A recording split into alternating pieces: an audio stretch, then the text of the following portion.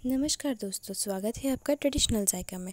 और आज हम बनाने जा रहे हैं ये डिलीशियस वाला चिकन बिरयानी तो आइए इसे बनाना शुरू करते हैं।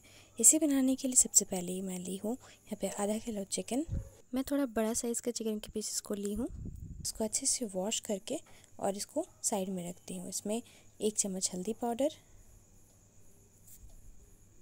स्वाद अनुसार नमक, एक चम्मच लाल मिर्च पाउडर चार चम्मच दही।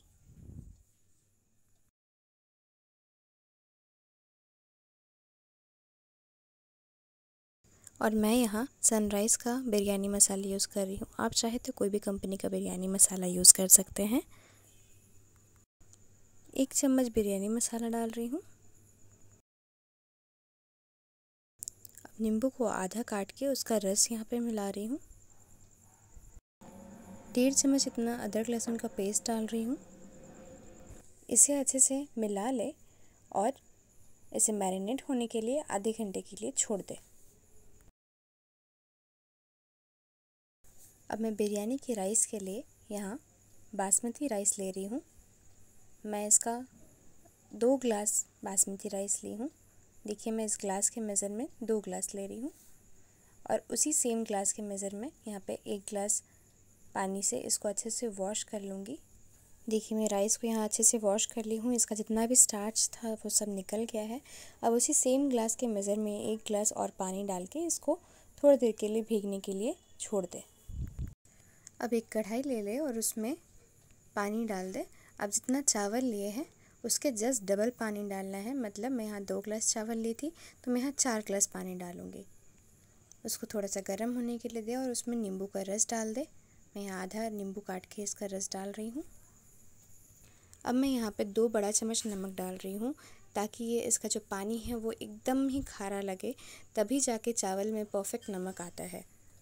एक इंच दालचीनी डाल रही हूँ। चार पीस इलायची डाल रही हूँ। चार पीस लौंग डाल रही हूँ। जावित्री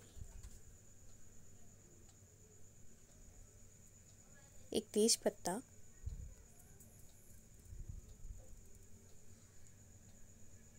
एक स्टार। और ये केवड़ा जल। तो मैं एक चम्मच जैसा केवड़ा जल डाल रही हूँ। अब इसको ढक दे और पानी में एक बॉयल आने दे। देखिए, आपका चावल भी फुल के रेडी हो गया है और यहाँ एक बॉयल भी आ गया है। अब आपको चावल को पानी से छान के इसमें डाल देना है। चावल डालने के बाद आप चम्मच ना चलाए, इसको इस तरह से हिला दे ताकि वो नीचे अच्छे से सेटल्ड हो जाए। आपको चम्मच डालने की ज़रूरत नहीं है, नहीं तो चावल टूट जाएगा और उसका जो चावल का सुंदरता है वो ख़राब हो जाएगा। इसको ऊपर से ढक दे और इसको थोड़ी देर के लिए पकने दे जब तक ये नाइन्टी परसेंट तक पक जाए। बीच बीच में चावल को चेक करते रहे। देखिए, ये पानी थोड़ा सा कम हो गया है और अब हम इसको चेक करके देखते हैं कि चावल पका है कि नहीं। नाइन्टी परसेंट पकना मतलब ये होता है कि जब ये चावल को आप तोड़ेंगे तो इसका चार टुकड़ा हो जाएगा। और चावल के अंदर एक वाइट सा एक लेयर बन जाता है। ऊपर से वो हल्का ट्रांसपेरेंट हो जाता है। ये चावल परफेक्टली पक गया है। अब इसका पानी को छान लेंगे और चावल को अलग से खुले जगह पे छोड़ देंगे। और चावल को उसके बाद ठंडे पानी से भी धो लेना है, ताकि उसका जो कुकिंग प्रोसेस है वो अच्छे से बंद हो जाए। अब चावल में ऊपर से ठंडा पानी डालें और अच्छे से उसको वॉश कर ले। देखिए मैं ऐसे उसको वॉश कर ले रही हूँ, अच्छे से ऊपर से ठंडा पानी डाल के। और अब एक खुला बर्तन में मतलब थाली या कोई बड़ा बर्तन में चावल को फैला के रख हैं। आप कोशिश करें कि पंखा के नीचे रख दे तो वो ज़्यादा अच्छा बेटर होता है। अब मैं वही सेम कढ़ाई ली हूँ और अब मैं इसमें सरसों का तेल ले रही हूँ। यहाँ पे मैं चार चम्मच इतना सरसों का तेल ली हूँ और मैं ये आलू को हल्का सा बॉयल करके रखी थी। पूरा बॉयल नहीं की थी मैं इसको। कुकर में बॉयल नहीं की हूँ।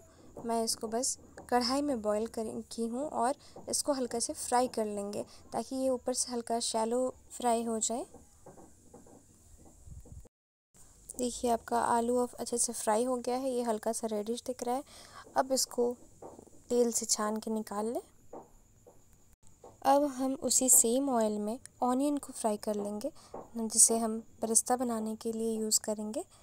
और यहाँ पे मैं प्याज को जो है लंबा लंबा काट ली हूँ। इसको अब हल्का सा ब्राउनिश में फ्राई करना है।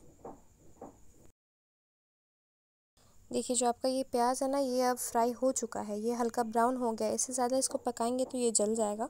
इसीलिए इसी स्टेज में इसको गैस को फ्लेम को बंद कर दे, नहीं तो उसका कंट्रोल करना मुश्किल हो जाएगा। और फ्लेम को बंद करते ही इसको धीरे धीरे छान के निकाल लें। प्याज को हम एक टिश्यू पेपर में निकालेंगे ताकि जो इसका एक्सेस ऑयल है वो ड्रेन आउट हो जाए और कढ़ाई में थोड़ा सा प्याज को छोड़ देंगे। देखिए, हम इतना प्याज को यहाँ बचा दिए हैं और एक इंच इतना दालचीनी इसमें डाले हैं और शाही जीरा को भी डाले हैं। अब इसी कढ़ाई में हमें चिकन को चिकन का जो मसाला है उसको बनाना है। इसको अच्छे से मिला ले और इसमें मैरिनेट किया हुआ चिकन को डालें। अब इसको हाई फ्लेम में ही ढक के ढक के पकाएँ ताकि ये पक भी जाए और हाई फ्लेम में इसलिए पकाना है ताकि जो ये चिकन है ना वो जूसी रहे। हाई फ्लेम में पकाने से चिकन अंदर से जूसी रहता है और अगर हम लो फ्लेम में पकाएँगे तो वो बहुत देर तक पकते पकते और अंदर से वो हार्ड होने लग जाता है। थोड़ी देर तक चिकन को पकाने के बाद इसमें फ्राई किया हुआ जो आलू था उसको डाल दें, क्योंकि इसी स्टेज में आलू को भी पकना है और चिकन को भी पकना है। दोनों बराबरी से पका होना चाहिए। इसको ढक दी हूँ मैं और ढक के ही पकाए इसको। पंद्रह से बीस मिनट बाद इसको एक बार चेक कर ले। बीच बीच में इसको चेक करते रहे कि आपका चिकन पका है कि नहीं।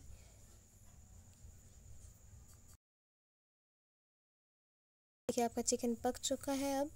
अब इसमें राइस को फैलाते हुए ऐसे डाल दें। एक लेयर चावल डालने के बाद ऊपर से अब जो प्याज को फ्राई करके रखे थे, जिसको हम बेरिस्ता बोलते हैं, इसको डाल दें।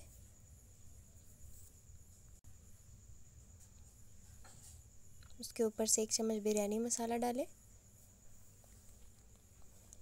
अब मैं इसमें थोड़ा सा फ़ूड कलर डाल रही हूँ, मैं येलो कलर का फ़ूड कलर डाल रही हूँ और ग्रीन कलर का फ़ूड कलर डाल रही हूँ। ये बहुत कलरफुल दिखता है इससे।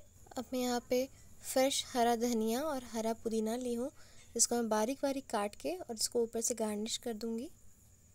इसमें एक चम्मच घी भी डाल रही हूँ ऊपर से।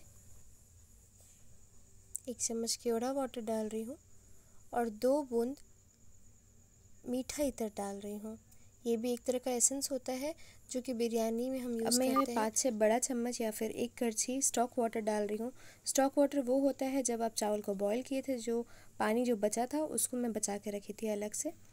देखिए इसका लिड में जो एक होल होता है उसको बंद करने के लिए मैं यहाँ पे थोड़ा सा आटा था उसको मैं लगा दी हूँ ताकि उसका पूरा पूरी वो दम पे पके। और यहाँ पे मैं इसको 20 मिनट के लिए दम पे पकाई हूँ। और अब ये देखिए, मैं आप इसका लीड खोल के दिखाई तो देखिए अब ये कितना अच्छे से पक गया है और इतना सुंदर दिख रहा है। बहुत अच्छी खुशबू भी आ रही है। आप इसे घर पे ज़रूर बना के ट्राई करें और हमें कमेंट करके ज़रूर बताएँ कि आपका बिरयानी कैसा बना है। और आप इस तरह से बिरयानी बनाएँगे तो डेफ़िनेटली आपको बहुत अच्छा लगेगा। आप बाहर का बिरयानी भी खाना बंद कर देंगे। इसके साथ में रायता को सर्व करें और ये देखिए आपका गरम गरम बिरयानी बनकर रेडी है। आप लोग हमारे चैनल को ज़्यादा से ज़्यादा सपोर्ट करें और ज़्यादा से ज़्यादा शेयर करें। आप लोग के प्यार और सपोर्ट से ही हम आगे बढ़ सकते हैं और आपके लिए नया नया रेसिपीज़ ला के दिखा सकते हैं और आप लोग को भी कुछ नया नया रेसिपीज़ सीखने को मिलेगा। सो हमारे साथ बने रहें। वीडियो को लास्ट तक देखने के लिए आपका बहुत बहुत धन्यवाद। फिर मिलते हैं अगले वीडियो में नई रेसिपी के साथ।